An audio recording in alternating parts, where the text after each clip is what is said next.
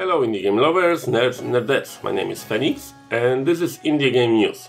Today we're looking at base building and survival genre. Please take your time and stay focused for next few minutes. You can find all the links to all cover games in the video description. Feel free to pause at any time. I cover other genres as well, so give my channel a look afterwards. Okay guys, since you all know how it works, let's start with updates of already released games.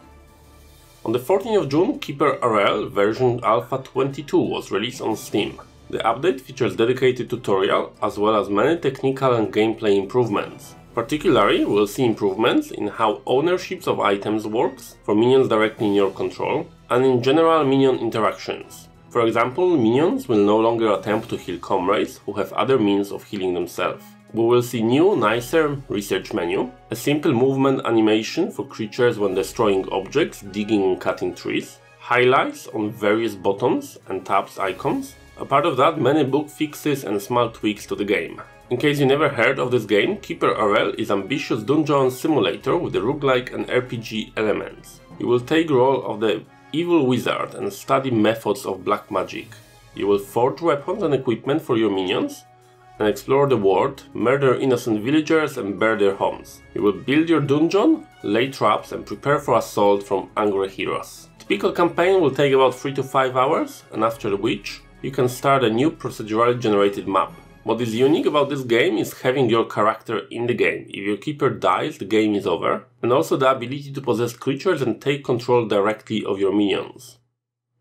On 10th of June, Alpha 16 for 7 Days to Die has released on Experimental Branch. Alpha 16 brings huge changes to the game. We'll see a distant rendering system that creates the models for locations of up to 1 km away from the player, without much impact on the game performance. Apart of that, developers have added 30 new locations to the explore and loot. We will see complete overhaul of spawning mechanics. Every location has unique spawning appropriate to location or area within the location. For example, maintenance area will spawn utility worker zombies and the office may spawn businessman zombies. There is also many changes to how many zombies are spawned, where and how they spawn in the game, making each game more unique experience while creating clear rules for players to learn with time and take advantage of. We will see addition of complete functional electricity system with the wiring tools, power sources, lights, switches, triggers, traps and more. A part of that, greatly improved random generation in the game.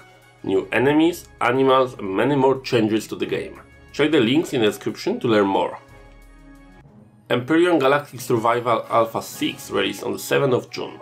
Game will feature now oxygen system.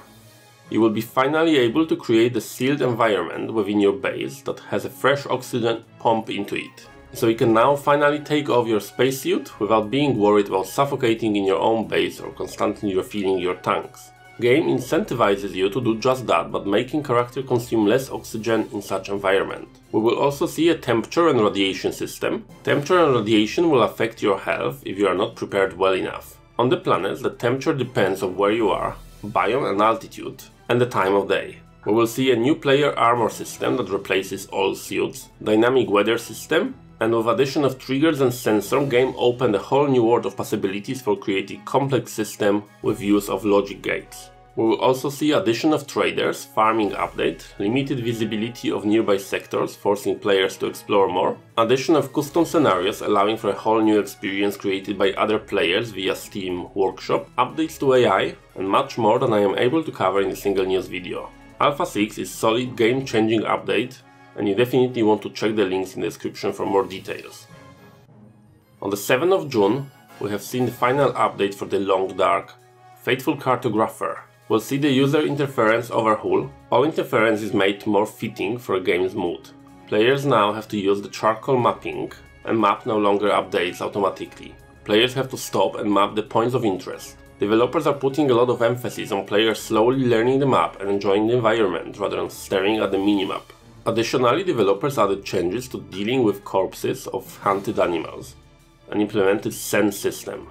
Dragging the sack of fresh bloody meat will make you more attractive to predators. We'll also see changes to struggle mechanic and some tweaks to first aid and crafting, as well as work on optimizations. Developers are hoping to leave early access on the 1st of August, so if you haven't played this game, now is good time to jump at almost finished product. Now, let's move to recently released games. Colony Survival released on the early access on the 16th of June.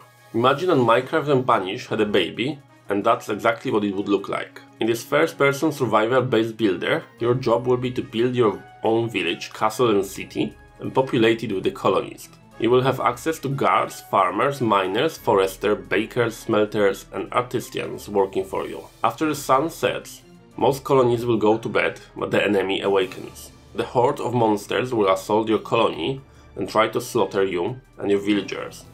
You will have to defend your colony with the walls, moats and guards. Game features a multiplayer support, support for textures and language packs created by players, and advanced pathfinding. Colonies and zombies will find their way in the world you build. They will dynamically navigate the stairs, bridges and tunnels. You will be able to explore the world with realistically placed biomes, giant jungle in the center of the world surrounded by savannas, deserts and temperature biomes, and two polar regions in the north and south. The Colony Survival has received 86% positive review score on Steam out of over 500 reviews submitted. Community Inc. Alpha is available to download via game's on website. As a new manager, your job is to build a happy community and trade with other races. You will need to ensure your minions, the Lings, are provided with the basic food, celery, clothing and healthy environment. Lings are easily distracted and often will start the fights and arguments that you will have to deal with. Game features over 150 craftable items and allows you to upgrade your village, with each item having its place and purpose. Roads increase your minion speed, cabinets increase the storage, and so on. You will be able to explore both procedurally generated and custom built maps. You can talk, fight and trade with other races, and game is set to come out properly on Steam this summer. Okay, time for announcements. Kingdom and Castles is set to come out later this month on Steam. Kingdom and Castles is a game about growing the kingdom from a tiny hamlet to sprawling city and imposing castle. The new land you are settling in is at risk of Viking invasion. The raiders seek to kidnap and kill your peasants, steal your resources and burn your town to the ground. You will have to use the powerful castle building system, where the castles are constructed using the blocks which you can place anywhere. Towers and walls are dynamically created based on how you stack and arrange them. And it all takes place in a beautiful dynamic world with a stylized procedural cloud system season cycle from summer to winter, and a realistic tree growth algorithm that simulates the forest. Depending on your needs, woodcutters can clear it out or responsibly manage your forests. Okay guys, that's it in this month indie game news. If you know of any games that should be featured in the next month updates, or you release the game yourself, please contact me at write2phoenix at gmail.com or tweet to me at phoenix underscore gaming. If you have enjoyed this video, please don't forget to subscribe for more. Nerds and Nerds, my name is Feniks and it was pleasure to have you here. Take care.